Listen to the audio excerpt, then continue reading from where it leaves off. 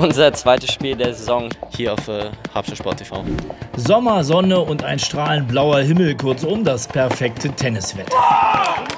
Nach dem gelungenen Auftakt am vergangenen Wochenende wollten die Herren vom TC Blau-Weiß natürlich den zweiten Sieg der Saison einfahren. Allerdings klappte das nicht. Die Bundesliga-Absteiger aus Neuss wurden ihrer Favoritenrolle völlig gerecht und gewannen am Ende des Tages klar mit 8 zu 1 gegen den Hauptstadtclub. Ja, und heute leider sieht es schon nach den einzelnen 1-5. Ist ein bisschen schwierig für uns, aber wir haben unser Bestes getan. Man muss ganz klar sagen, dass äh, die Neusser Favorit sind auf allen sechs Positionen. Ähm, unsere Gegner sind äh, bei anderen Spielen festzumachen, heute nicht. Wir wollten uns da gut aus der Affäre ziehen. Der TC Blau-Weiß musste zudem auf zwei wichtige Spieler verzichten, sowohl ihre Nummer 1, Joao Montero, als auch die Nummer 2, Michael Wrembensky, waren am Freitag nicht mit dabei. Aufgerückt waren dafür die beiden Nachwuchsspieler Stefanos Chinas und Philipp Pavlenko. Wir haben ähm, eigentlich mit zwei Nachwuchsspielern, also ich und Philipp Pavlenko. Und der ist äh, einer der besten Nachwuchsspieler in Berlin, mit 17 äh, Jahre alt. Sein erstes Spiel auch in der Bundesliga. Für Philipp Pavlenko gab es also ein Zweitbundesliga-Debüt zu feiern.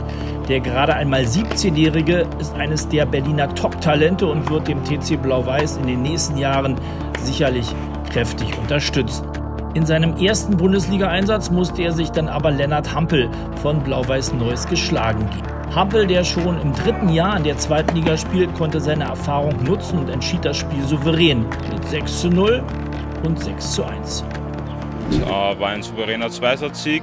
Ich denke, äh, mein Gegner ist ein bisschen jünger und dem hat man ein bisschen die Nervosität angesehen und auch angemerkt. Und ich habe schon zum dritten Mal in der zweiten Bundesliga gespielt, also das dritte Jahr. Von dem her hat mir das ein bisschen geholfen, gut ins Match zu finden. Auch Stefanos Chinas hatte mit dem Belgier Julien Canina einen erfahrenen Gegner vor sich. Nachdem Canina den ersten Satz mit 6 zu 1 für sich entschied, fand Chinas im zweiten Satz wesentlich besser ins Spiel und konnte zwischenzeitlich sogar mit 4 zu 3 in Führung gehen. Am Ende fuhren die Gäste aus Neuss aber auch hier mit 6 zu 1 und 6 zu 4 einen Zweisatz-Sieg ein. Ja, es war ein bisschen bitter heute. Es war ein gutes Match. Ich habe den ersten Satz leider 1-6 verloren. Ich habe am Anfang nicht so gut gespielt. Äh, ich habe direkt viele Fehler gemacht von Anfang an. Nicht keine Chancen ausgenutzt, keine Spielbälle gewonnen. Das Spiel auf der 2, Petre Nusa gegen Butik van de Sandschulp, ging mit 7 zu 6 und 6 zu 3 ebenfalls an Blau-Weiß Neuss. Auch die Nummer 3, der Berliner Laszlo Urita Fuentes, musste sich geschlagen geben. Sein Gegner Frederik Nielsen gewann das Spiel mit 6 zu 4 und 6 zu 1.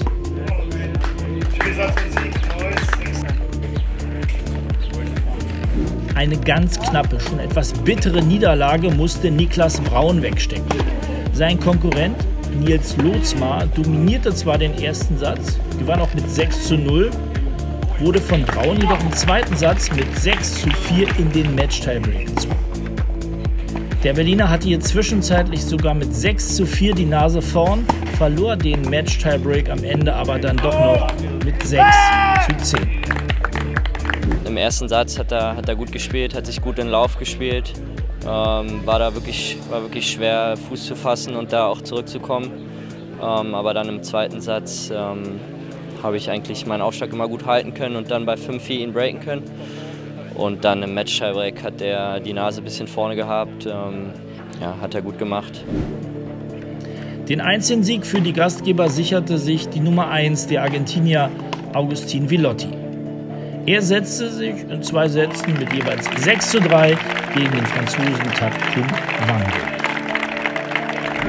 Im ersten Satz habe ich super abgeschlossen und richtig gut gespielt. Im zweiten Satz habe ich dann gut zugemacht. Insgesamt bin ich sehr zufrieden mit meiner heutigen Leistung. Auch in den Doppeln war für die Hauptstädter nichts mehr zu holen. Zwei der drei Partien mussten sogar verletzungsbedingt abgebrochen werden und gingen somit direkt an die Gäste aus Neuss. Für die Herren des TC Blau-Weiß heißt es nun abhaken und gut auskurieren, regenerieren. Denn an diesem Sonntag schon steht der Berliner Tennisklassiker an. das Revierderby gegen den LTTC Rot-Weiß. Wir werden uns auch noch mal verstärken, um da ein bisschen gegenzuhalten. Und dann freuen wir uns natürlich drauf, äh, am Samstag äh, vor großem Publikum wie vor zwei Jahren ein schönes Derby hinzubekommen und da auf jeden Fall besser auszusehen als vor zwei Jahren. Wir sind am Sonntag natürlich auch vor Ort, wenn bei ebenfalls bestem Tenniswetter das Berliner Derby auf dem Gelände des LTTC Rot-Weiß ausgetragen wird.